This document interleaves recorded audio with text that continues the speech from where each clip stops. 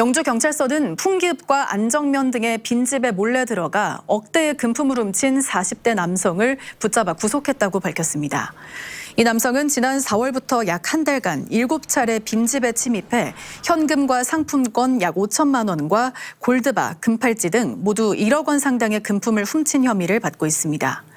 남성은 피해품 대부분을 인터넷 도박에 탕진한 것으로 경찰 조사 결과 드러났습니다.